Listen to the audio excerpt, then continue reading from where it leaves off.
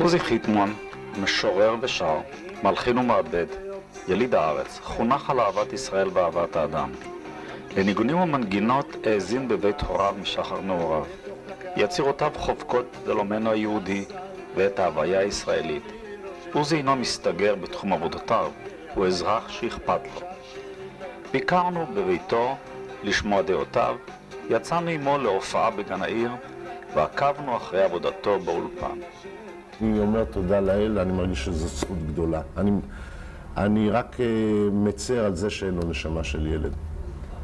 אני לדעתי כולם ילדים, יש כאלה שמודים בכך, יש כאלה שלא מודים בכך, ולא משנה הגיל הכרונולוגי.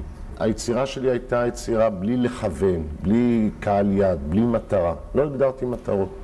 בשנת 78' שלחתי שיר לפסטיבל שיר הילדים, ושרתי אותו, והשיר נקרא "אלוהים שלי רציתי שתדע".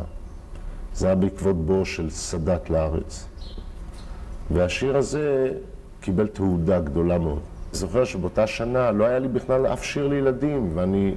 הזמינו אותי למופעי ילדים, אמרתי, אין לי שום רפרטואר לילדים. אמרו לי, לא חשוב, תבוא ותשאיר את השיר הזה שלוש פעמים ותלך הביתה.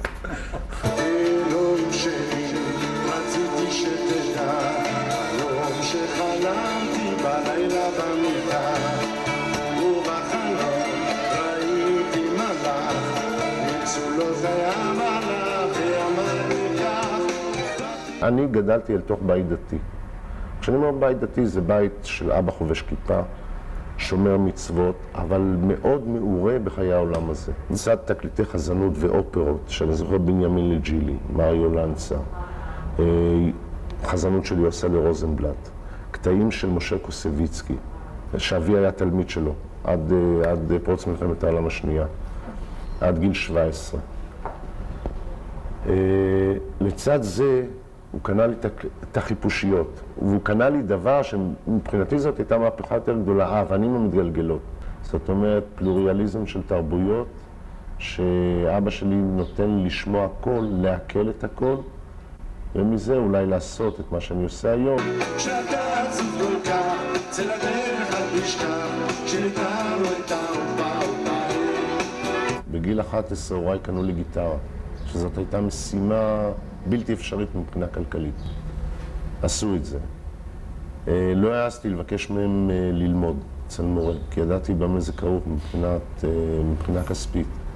ואז בכוחות עצמי קשקשתי על הגיטרה, המון, המון.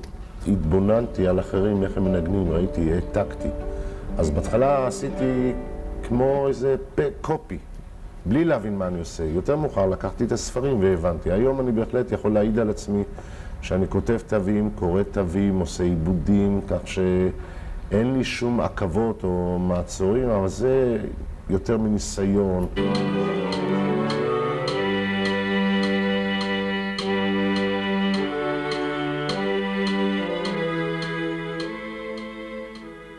אני גם מדריך נוער, דרך אגב, משנת 74, 1900... מדריך נוער בנגינה במוזיקה. מוזיקה. יש לי להקה ייצוגית שם שאני מדריך אותה כבר 24 שנים. ואני דרך הנוער למדתי המון. זאת אומרת, היו לי שם אה, תזמורות, אה, נשפנים, ואמרתי, חבר'ה, אני לא שולט בתווים, אני אכתוב לכם תווים, אני עושה טעויות, תקנו אותי. והיו מתקנים אותי, והיו מסבירים לי, ודרך זה למדתי, הבנתי את העיקרון. ברגע שהבנתי את העיקרון, רצתי עם זה הלאה. השיר הראשון שכתבתי בחיי היה בזמן הטירונות בצנחנים דווקא. ובאתי הביתה לאותה שכונה בגבל, ליד גבעת נפוליאון וחיפשתי חברים, להעביר איתם את השבת. ההוא נשאר תורנות, הוריו עברו לכפר, אלה ירדו מהארץ, כבר אז הייתה ירידה מהארץ. ואז ישבתי בבית ואני לא יודע מה, לא יודע מאיפה זה בא. כתבתי שיר, כך היינו בשכונה, כך היה כל השנה. חשבנו שלשיר זה לבלות, היו ימים, היו לילות. וזה שיר, אה, ככה היינו בשכונה, כך היה כל השנה. וזה שיר שאחר כך, אה, יותר מאוחר, בוצע על ידי יזהר כהן. אבל זאת הירייה הראשונה שלי הייתה, בעצם, כתיבה ראשונה, ופתאום הרגשתי שיש לי רצון להביע את עצמי ב...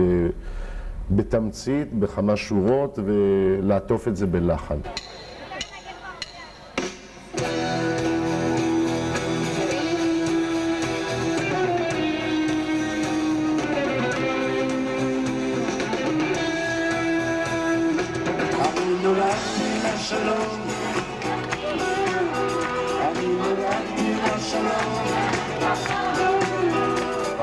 חתחתים, בדרך תקופה ארוכה בצנחנים, כולל כל מסלול הצנחנים, כך שהיום למעשה אני לוחם לכל דבר. זאת אומרת, אה, אה, מבחינת ההכשרה הצבאית. מבחינת ההכשרה הצבאית, בוודאי. הלוואי ולא אזדקק לזה. ושנה וחצי האחרונים, אה, שנה וכמה חודשים, הייתי בלהקת פיקוד המרכז.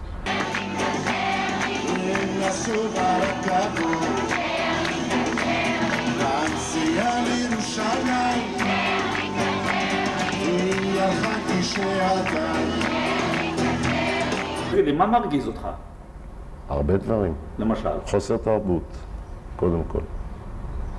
הכביש מרגיז אותי, החפיפניקיות, ה- יהיה בסדר, יאללה, סמוך עליי. הגג בבאר שבע, הילדה בירושלים שנפלה מהכיתה, הגשר של המכבייה מרגיז אותי, גשר שפירים מרגיז אותי, החפיפניקיות. גם בשפה, אתה יודע, אני שומע טלוויזיה, והתנועת ידיים הזאת, כל הזמן מדברים אליך ככה, ויש אחוז תזזית, אין לי נוחות בשום דבר. למה הפתגם הזה יכול כפי יכולתך? למה לא יכול כפי הצורך? מה זה העיניים הגדולות, לנגוס, לב... אז זה אני... וזה... זה- עומד בראש סולם המחלות לדעתי, העיניים הגדולות. תחשוב, איזה מדינה אנחנו? מדינה בהקמה, ניצולי שואה, צפון אפריקה, תימן, אה, מזרח רחוק, אה, מערב. יהודי באירופה עסק במוזיקה, למעט כמה קלייזמרים. עכשיו, אם אני, אני, אני שייך לגיל הביניים, גיל התפר, נולדתי ארבע שנים אחרי הולדת מדינת ישראל. אני כבן, או בני גילי, באים לאבא או באמא, אמא, אני רוצה להיות שחקן, זמר. מה? איזה מודלים היו לנו? איזה מודל היה לי לחקות?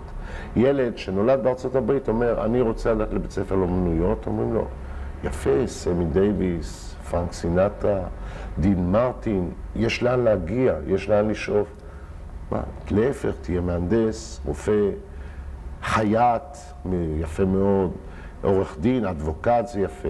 מוזיקה זה בוהמיאני, זה חשישניקס, זה מסיבות הוללות, והכל זה, אתה יודע, זה, סטיגמות. זה איזושהי בורות ופחדים, כי יהודי צריך ללמוד. אני חושב שבני גילי יצרו מקצוע חדש, שידעו כל דבר לעגן בעין ולהגן ב-A בהסכם.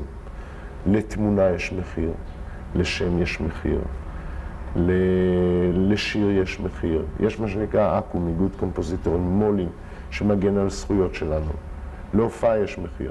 עכשיו, באמת אני מתפרנס מיצירתי, כי אני עדיין בראשית דרכי הבנתי שזה לא מקצוע לכל החיים. על כן, בגיל צעיר מאוד הלכתי להדריך נוער. קודם כל אני אעבוד שכיר, בחצי משרה, בעיריית פתח תקווה. קודם כל, שאת הלחם יהיה לי.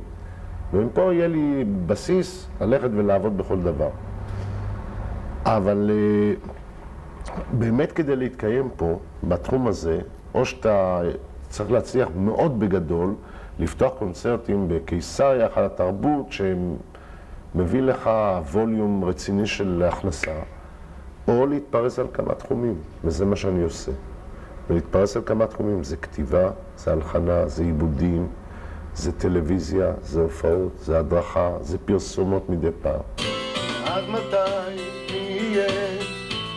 כל כך קרים, בלי חיוך ובלי מילה טובה, כשהלב אוסף את השברים, פעם עוד הייתה פה אהבה. הייתי בכל דרום אמריקה, דרך המוזיקה, המוזיקה הובילה אותי. אפריקה, אבל באמת המסע המרגש שלי ביותר היה לסיביר. אמרו לי פה במשרד החוץ, צפה לזה, אנחנו לא יודעים. אתה הישראלי הראשון שמגיע לשם, באופן פורמלי. צפה לזה שלא מכירים לא את התקווה, לא את ירושלים של זהב, ועם הידיעה הזאת תלך להופיע. טוב, הגעתי בדרך חתחתים, זה סיפור ארוך. הגעתי לעיר בשעה ארבע לפנות בוקר. נכנסתי למלון שנקרא מלאכית. ואני נכנס לחדר, ולא עברה דקה ואני שומע דפיקות בדלת, וחשבתי, אחד הנגנים אולי נתקע עם מפתח. אני שואל, כן, מי זה? אני שומע קול, ישראל בן שמואל. אני פותח את הדלת, רואה אדם כ- כבן 65, פנים של מלאך, בעיניי, יפה תואר בפנים. נופל על צווארי, מחבק אותי, בוכה, ואומר לי בעברית ספרותית, חלום חיי התגשם, לראות בן אדם עברי. אני שואל אותו, מנין אתה יודע עברית? מאיפה? הוא אומר, 50 שנה אני לומד במחתרת עברית, והיום אני מלמד דרדקים בית אולפנה לקראת עלייתם לארץ הקודש. אז אה, אחרי זה הגיע רגע הקונצרט, המופע, עליתי על הבמה ואחרי דקה שמעתי על הבמה מישהו מקצה האולם צעק לי, אדון עולם, אדון עולם. וזה דבר שמאוד ריגש אותי, שהשירים האלה לא צריכים להצהיר במכס, אין להם גבולות. הם מפעים.